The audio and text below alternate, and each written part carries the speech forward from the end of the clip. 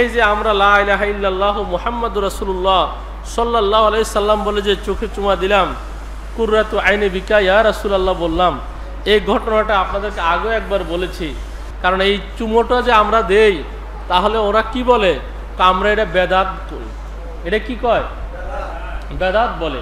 প্রিয় ভাইরা আমার, আল্লাহ তালা সর্বপ্রথম আমার নবীর কি সৃষ্টি করেছেন? আমার নবীজির নূর মুবারক সৃষ্টি করেছেন। আমার নবীজি নূর মুবারক যখন সৃষ্টি করার পরে আমাদের আতে পিতা হজরত আদম আলাইসাল্লামের পিঠ মুবারকে দিলেন। কোথায় দিলেন? পিঠ মুবারকে আমার নবীজির নূর মুবারকটা দিলেন। দেওয়ার পরে ফেরেস্তারা কি করলেন?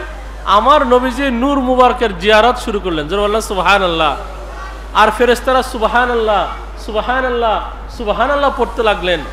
তখন হজরত আদম আলাইসাল্লাম বললেন, ওগো আল্লাহ, এরা কারা? এরা আমার পিছনে ঘুর ঘুর করছে আর সুবাহান আল্লাহ সুবাহান আল্লাহ সুবাহান আল্লাহ পড়ছে তখন আমার আল্লাহ হজরত আদম আলাইসাল্লামকে ডেকে বলে, এটা হচ্ছে আমার প্রিয় হাবিবের নূর মুবারক। আমার প্রিয় হাবিবের নূর মুবারক। তারা আমার হাবিবের নূর মুবারকের জিয়ারত করছে আর সুবাহান আল্লাহ সুবাহান আল্লাহ করছে তখন হজরত আদম আলাইসাল্লাম বললেন, ওগো আল্লাহ, আমার নবীজির নূর মুবারক আমার কুপালে দিয়ে দেন। যেন বলেন সুবাহান আল্লাহ তখন আমার আল্লাহ কি করলেন? আমার নবীজির নূর মুবারক হজরত আদম আলাইসাল্লামের কুপালে দিয়ে দিলেন। কুপালে দেওয়ার পরে ফেরেস্তারা এবার সামনে এসে আমার নবীজির নূর মুবারক কি করতেছেন?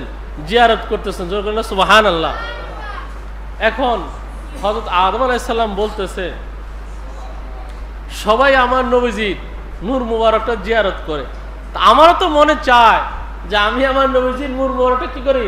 জিয়ারত করি। তুমি আল্লাহর কাছে আবেদন করেন, আল্লাহ, আমার নবীজির নূর মুবারকটা আমার দুই বিদ্যাঙ্গুলিতে দেন, আমি যেন আমার চোখে মুখে কি খেতে পারি? চুমু খেতে পারি যেন না সুবাহান আল্লাহ তখন আল্লাহ সাথে সাথে হজরত আদম আলাইসাল্লামের দুই কি? এই আঙ্গুল মুবারকের মধ্যে কি করলেন?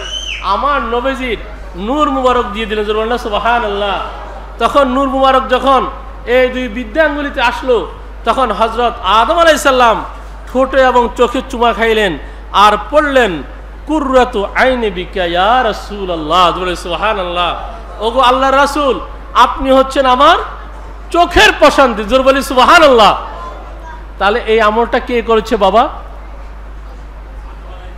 হজরত আদম আলাইসাল্লাম এই আমলটি করেছে। এখন আমাদের আদি পিতা হজরত আদম আলাইসাল্লাম যখন এই আমলটি করেছেন, তাহলে এটা কি বেদাত হতে পারে? এটা কি বেদাত হতে পারে? উনি কি পড়লেন? কুর্রাত আইনে বিকাইয়া রাসুল আল্লাহ ওগো আল্লাহ রাসুল, আপনি হচ্ছেন আমার চোখের প্রশান্তি। তো এই কারণে কিছুদিন পূর্বে আমাদের দেশে একটা চোখের রোগ, উঠছে না, চোখ লাল হয়ে যায় তো ভাইরাস। তো যত লোক আমার কাছে আসছে, আমি ওদেরকে বলছি কি, কালমা পড়বেন। কয়েকবার কালমা পড়ে লাহিল্লাহ মোহাম্মদ রাসুল্লাহ তো পড়বই সাল্লা সাল্লাম পড়ে সাতাকুররা তো আইনে বিকাইয়া রাসুল আল্লাহ এটা পড়বেন। আল্লাহ চাহে তো ইনশাল্লাহ আপনার চক্ষু কি ভালো করে দিবেন কে? আমার আল্লাহ।